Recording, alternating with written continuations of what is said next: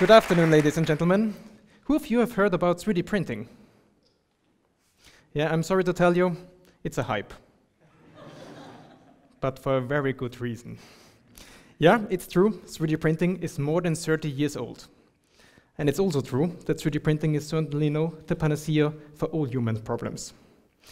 But do not make the mistake and underestimate this technology, because 3D printing has come to stay. But how to best approach this technology after the hype, and how to realistically approach this technology? First of all, it's quite important to understand that 3D printing is not one technology, but it's more used as an umbrella term for plenty of different technologies, which basically adds up material layer after layer to print a three-dimensional object. And second, 3D printing is like no other technology based on the mastery of more than one discipline, like robotics, like material science, like computer science, and a very important but often overseen ingredient called creativity, designing, and art. So let me give you an example. In human life, there have also always been some specialists, very intelligent and very engaged human beings, which engage deeply in one single task. They reach a huge expertise in one discipline. When it comes to innovation, they often create something new by discovering some new knowledge within a certain discipline. But on the other hand, there have always been some generalists too, humans who jump from one task to another and have some certain insights within more than one discipline. But most often, they do not go below a certain deepness.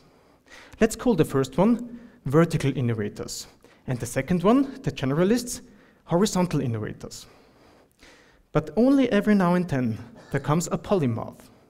Polymaths are extraordinary people who master more than one discipline they are the embodiment of an horizontal and vertical innovator in one single person. There is a very famous example, Leonardo da Vinci. He was the embodiment of an artist, an engineer, and a scientist. And it was exactly this multidisciplinary approach which made him so successful.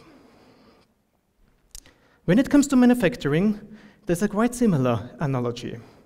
We have very specialized technologies like injection molding, which are perfect to mass produce one kind of product in thousands, in a huge value.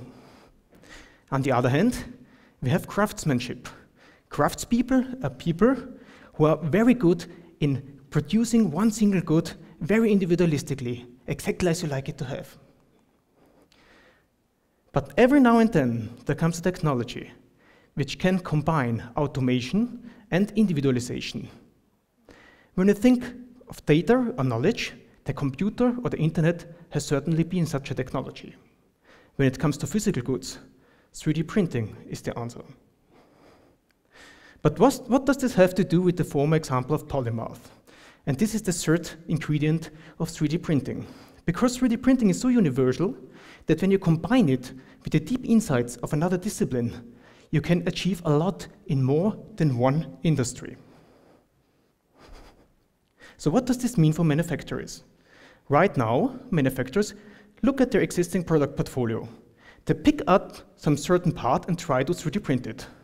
But normally, they quickly get quite disappointed because it's much more expensive and it takes a lot of time.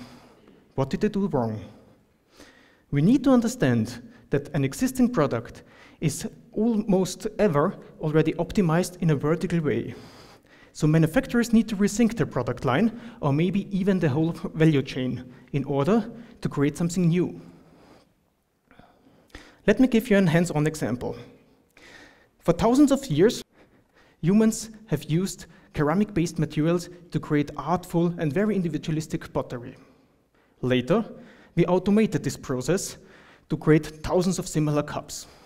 So does it make sense to replace the artist with a 3D printer? Certainly not. Does it make sense to replace a perfect mass manufacturing system with a 3D printer? Not at all. But when you add to automation, creativity, and individuality and material science some other discipline like medicine, something wonderful will come out.